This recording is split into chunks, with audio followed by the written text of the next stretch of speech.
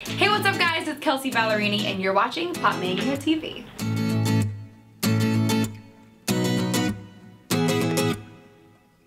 This is the first time that um, that everyone in the room knows my songs. I mean, opening up for Rascal Flatts is incredible and I got to do that all summer and opening for everyone's been incredible, but you know, there's always that challenge of going in, in front of someone else's audience and they might know the songs that they've heard on the radio, but they don't know your whole album. And this tour has been full of people that know every word to every song on my album, which as the person who wrote it makes like makes my heart so happy. So that's been a really fun way to end the year. We play three new songs off the new album on this tour um, because I put up my album almost two years ago. And so some people have had it for two, almost two years. And so I just wanted to make sure that people that have lived with it for that long have something new to have and to listen to and to look forward to. My favorite two songs to perform live are Peter Pan because that was the song that just changed everything for me. And people sing it louder than me every night. And it's just such a moment. I've cried several times during it. Um, it's just it's a really beautiful moment of the show.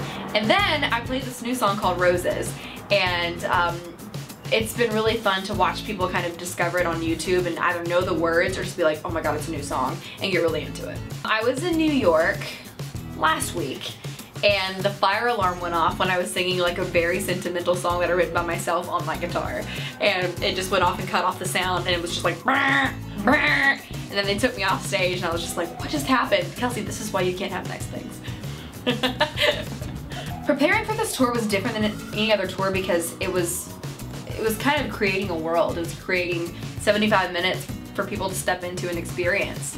And um, and it was just fun because I wanted it to I wanted it to kind of embody the album, which I really wanted it to be empowering and light and fun and uplifting and confident. And um, being able to kind of translate that into a live show was a challenge, but really fun.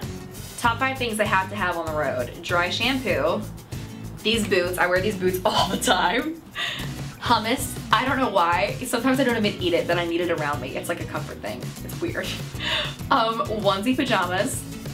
And my bus is decorated in fan art. And that is, it's kind of like my second home. And it's like wallpaper. It's really cool. My pre-show ritual is getting together with my band and turning up music really loud. It's usually like Rihanna or Drake. And we just have a big dance party. Get the jitters out. Thanks for watching Popmania TV.